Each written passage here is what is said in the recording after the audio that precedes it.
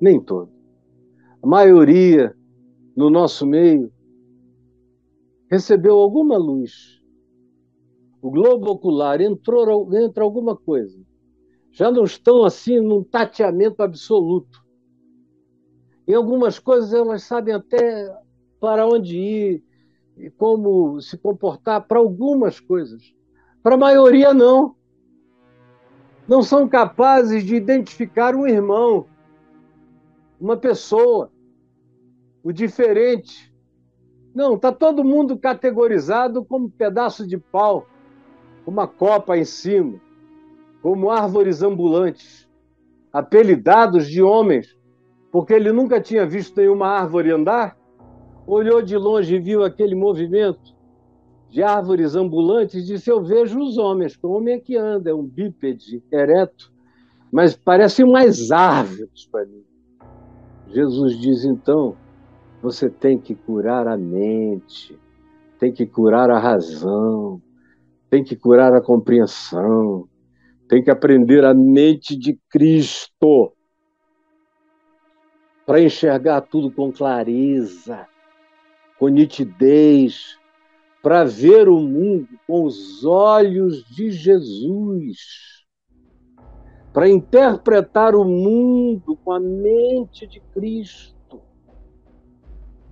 para ter no coração o processamento emocional e afetivo que decorre de ver a vida como o Evangelho de Jesus nos ensina a ver a existência. Aí homem passa a ser homem, mulher, mulher, gente é gente, coisa é coisa, tudo é o que tudo é quando o Evangelho de Jesus opera esse milagre grandioso de fazer com que eu, tendo olhos, veja, tendo ouvidos, ouça, Tendo coração, discirna. Tendo mente, processe, compreenda, elabore, tomando cuidado para não ser bloqueado pelo fermento da religião, do moralismo dos fariseus, do culto aos estereótipos, as ideologias de costumes, de formalidades que não veem gente, que só vê em aparências. Jesus diz: cuidado, isso entra sutilmente, isso cresce, isso incha. Não faz você crescer, mas faz você inchar. É um fermento. Cuidado também com a ideologia de Herodes, porque ele faz qualquer negócio para ficar junto ao poder. Cuidado para que vocês não entrem nessa porque isso é um fermento que vai entrando quando você percebe, você já está brigando, matando em nome de Deus, pela ideologia de Herodes. Cuidado, porque me parece que vocês estão embrutecidos. Compreendeis agora? Mas sabendo que não tinham ainda entendido nada, Jesus cura esse homem para eles saberem que eles só tinham até aqui vista, só conseguiram enxergar até agora pão e milagre, dava para contar. Eram funcionais, sabiam contar. Quantos eram? Tantos. Quantos pães sobraram? Cestos? Tantos. Da segunda vez, quantos eram? Tantos. Quantos cestos sobraram? Tantos. Funcionalidade, eles tinham. Tinham feito curso com os coaches Sabiam até um monte de coisas sobre funcionalidades, empreendimento, empreendedorismo, coisas assim. Agora, o olhar do Evangelho não estava lá. O olhar de Jesus não estava neles. Aí Jesus cura o homem em duas partes, em, em processo, para mostrar que todo discípulo está em processo. Pobre do discípulo que pensa que está acabado, que está finalizado, que está completo. Esse aí vai viver só de vista e nunca terá visão do Evangelho, nunca terá a mente de Cristo, nunca terá os paradigmas do olhar que distingue as coisas com clareza. Falta discernimento, entendimento, compreensão espiritual. São homens de carne, mulheres de carne, são bonecos de carne. Quando Jesus diz, vós sois carnais, quando Paulo diz, ele está dizendo, vocês são bonecos de carne, são androides funcionais não tem o espírito, a luz do espírito. Ou então vocês são apenas homopsíquicos, são só respostas de pulsões psíquicas para a vida.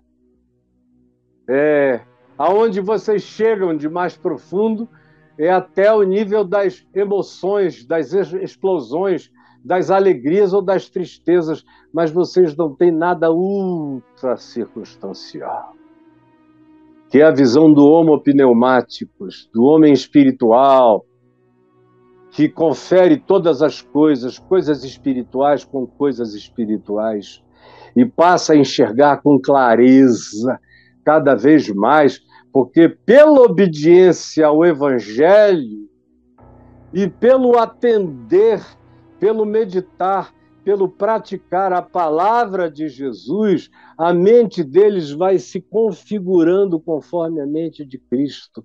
E cada dia mais eles vêm com maior clareza, com maior distinguibilidade, com maior objetividade, com maior certeza. Vão enxergando, sabendo que gente é gente. Não importa quem sejam as pessoas, árvores nunca. O meu semelhante não é um pedaço de pau, é gente. Não importa o que ele creia, não importa de onde ele venha ou para onde ele vai, não importa o que ele pratica ou não pratica, ele é gente, porque Deus amou a gente, amou o mundo, amou todo mundo no mundo, todos, deu a sua vida por todos os homens, amou o mundo, para que todo aquele, indistintamente, indiscriminadamente, qualquer um que nele crê, não pereça, tenha vida eterna. Essa é a mensagem que salva o meu olhar do olhar dos fariseus, que separam o joio do trigo, que dizem saber quem é de Deus e quem não é de Deus, que afirmam quem vai para o céu e quem está no inferno, e que dizem que os que estão alinhados nos alinhamentos políticos deles, com Herodes, com o templo, com os principais do templo, com os sinédrios da religião, esses é que são de Deus. Os que não gostam disso, que não passam por aí, que vivem a vida que só cuidam da vida, da mulher, dos filhos, do marido, dos amigos, mas não querem nada com a religião, esses são os que estão no inferno. E quem não der apoio a Herodes também está no inferno. E quem faz outra escolha é um perdido. Me diga, compreendeis o que eu vos digo? É a questão de Jesus. Para cada discípulo que porventura esteja me ouvindo nesse instante. Senhor Jesus, eu te imploro que essa palavra nos acorde. Na simplicidade dela, ela tire essas escamas, não só dos nossos olhos, mas essa crosta que impede a nossa mente de fazer sinapses de amor, de graça, de entendimento, de acolhimento, de inclusão, de percepção e de igualdade entre mim e todos os outros seres humanos que andam pela face da terra. Por favor, salva-nos e salva-me todos os dias da minha vida de só ter vista e perder a visão, como muitos entre nós. que até enxergam algumas nesgas, alguns pontinhos de luz, mas estão perdendo o olhar panorâmico da vida toda, porque não têm em si a mente de Jesus, a mente do Evangelho. É o que eu te peço, que tu faças agora, em teu nome, Jesus. Amém e amém.